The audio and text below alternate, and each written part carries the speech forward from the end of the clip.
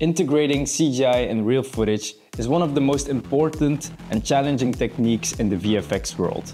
When done right, it can totally bring your imaginations and storytelling to life.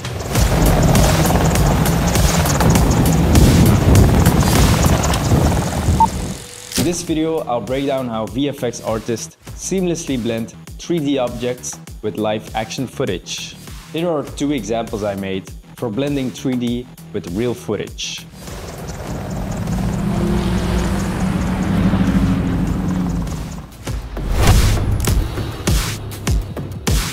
Before we go into 3D, we need to record our footage to create a scene for the CGI elements. High contrast scenes with a lot of objects work best. That's because our 3D program needs enough information to 3D track the environment. That way our 3D elements follow the exact movement of the camera and stick into the video. So it's best to avoid heavy motion blur, shaky footage, or blurry and over-stabilized footage. Matching the lighting of the real world is a crucial step when integrating 3D objects. But what is the fastest and easiest way to match the lighting of a real world? This is the answer, a 360 camera. With this 360 camera, we can make a high dynamic range image, also known as HDRI. With this light information, we can recreate the reflections and the lighting for our CGI elements. We do this by simply placing the 360 camera roughly in the same spot where we want to place the CGI later. Taking different exposures from bright to really dark, this is then stitched together in one image that contains all the light information. Now we are ready to dive into our 3D software and transform reality. If you want to learn exactly how to make VFX shots like this, I have a full masterclass available. Here I will explain every step of the workflow from start to finish. From 3D tracking the footage all the way to CGI integration along with rendering and compositing the final shot.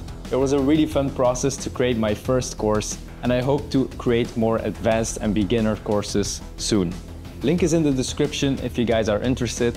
There is still plenty of free content to come here on my YouTube channel this is just for people who like to go in depth and see the full workflow for a VFX shot.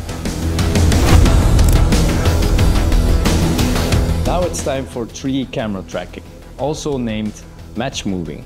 This is tracking the camera movement so our 3D helicopter sits perfectly in the scene. This is done by scattering various automatic points in the scene where the 3D tracker can lock onto.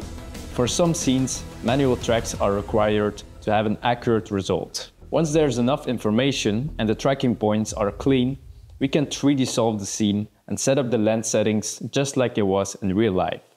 Here all this data will make a digital camera move and construct the scene in 3D. After that we fix the scale and orientation of the 3D world so the proportions are looking correct. With our footage tracked, it's time to add the 3D helicopter into the scene. First we made the animation of the rotor blades and added all the shaders and textures to our 3D model.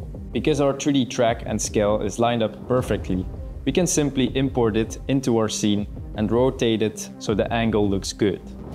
To match the lighting, we add the HDRI in the scene along with the CGI sun for extra light and dark shadows. Speaking of shadows, here is a simple trick to cast shadows onto the ground. Add a plane scale it up. And this plane will be used to catch our shadow. We will need to add a render tag, rs object. We will override this, then enable. And in the shadow, we will just enable it. And there we go, we have our shadow catcher. This can make a massive difference for selling the shot. If you're into car shots, the same principles apply here. Match your reflections and lighting, and you're good to go. Finally, let's render out everything using AOVs. These are separate render layers which have different light informations. This way we have complete control over the render in post-production.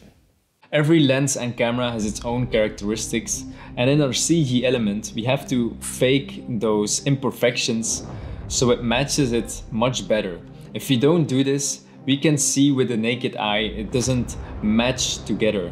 It doesn't blend in that footage. And that is mostly because your grain and your blur of your lens is not incorporated in your CG element. So let's add these elements so it matches our lens characteristics. In CGI, we use a color space called ACES. This color space contains a ton of information, even more than the human eye can see. When compositing, we combine the render layers and adjust the lighting and shadows where needed. After everything is in place and stitched together, we can export the ACES back into a Rec 709 or sRGB workflow. We can then choose to export this in a log profile, which is a flat profile, which we can then color correct and color grade. This flat color gives the artist complete control over the final feel and look of the scene.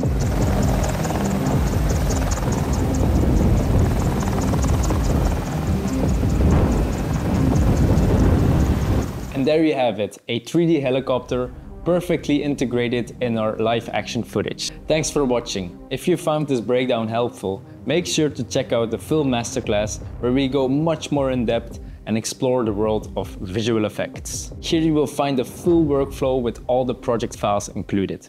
Check out the link in the description. Subscribe if you haven't already, place a comment below what you would like to see next and see you in the next video. Peace.